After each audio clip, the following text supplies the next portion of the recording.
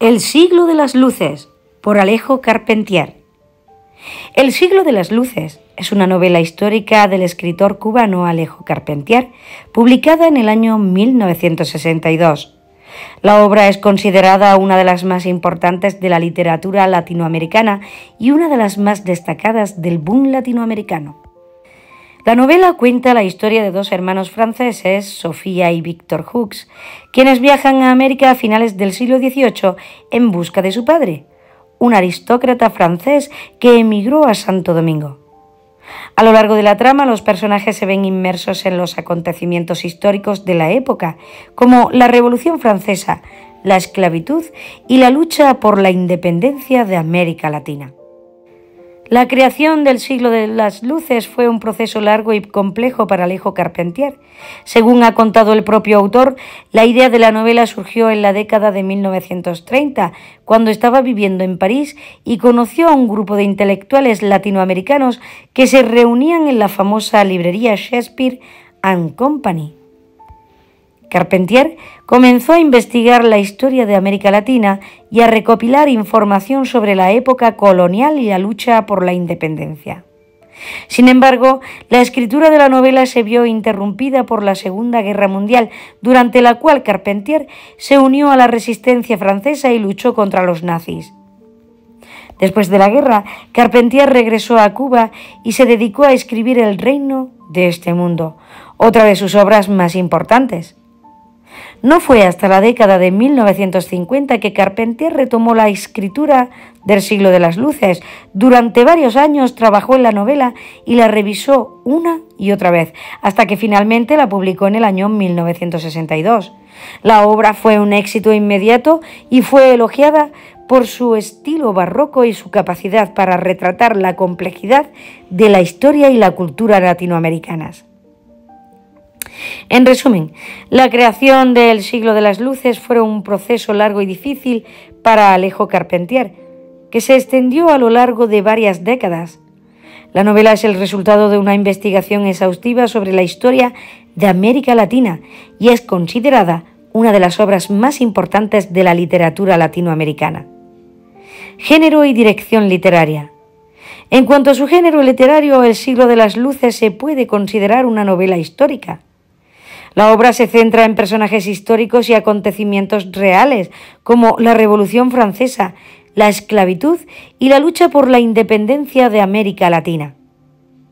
Sin embargo, también tiene elementos de ficción, ya que el autor crea personajes y situaciones que no son históricamente precisas, pero que sirven para explorar temas relevantes de la época.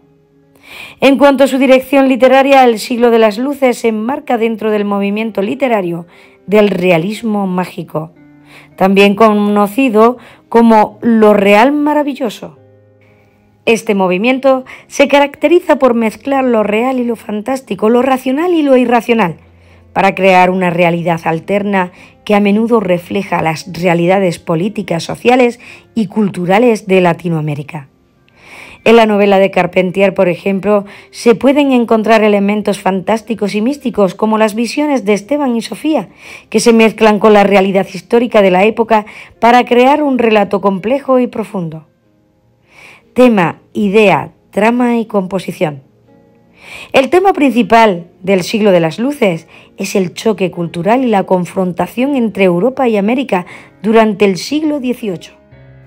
Carpentier explora cómo la llegada de la Ilustración y los ideales de la Revolución Francesa afectaron a la sociedad y a la cultura de América Latina, así como las tensiones entre los colonizadores europeos y las culturas indígenas y africanas. La novela también aborda temas como la esclavitud, la lucha por la libertad y la independencia, la identidad cultural y la búsqueda de la verdad. La idea principal del siglo de las luces es que la realidad es compleja y no se puede entender simplemente desde una perspectiva unidimensional.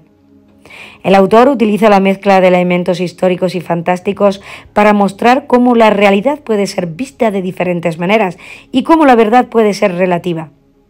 Carpentier también critica la idea de que la ilustración y los ideales de la Revolución Francesa representan el progreso universal y demuestra cómo estas ideas no siempre son aplicables a todas las culturas y sociedades.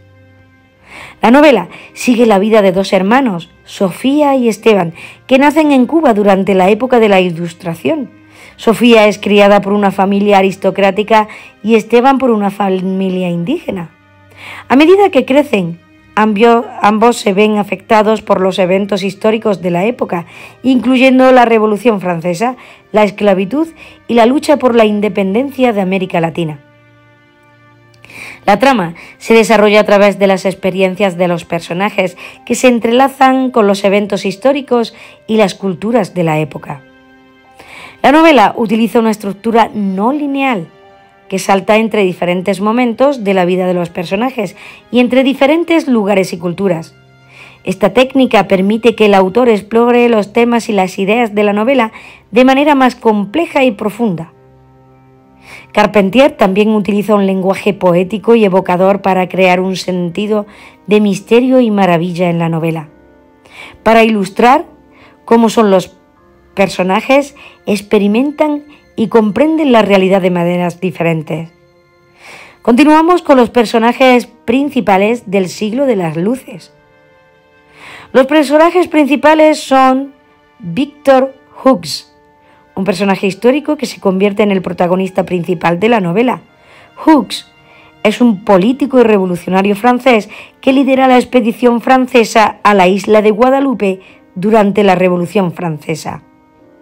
Esteban, el mulato, primo de Sofía, un personaje ficticio que es el compañero y confidente de Victor Hughes es un mulato que se une a la expedición francesa de Guadalupe y es testigo de los horrores de la esclavitud.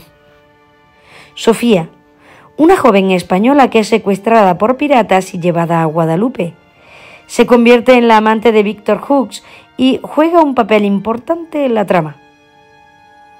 Carlos es el hermano de Sofía, un aristócrata español que busca a su hermana desaparecida en Guadalupe. Estos son algunos de los personajes principales del siglo de las luces. La novela también cuenta con una amplia variedad de personajes secundarios que desempeñan un papel importante en la historia.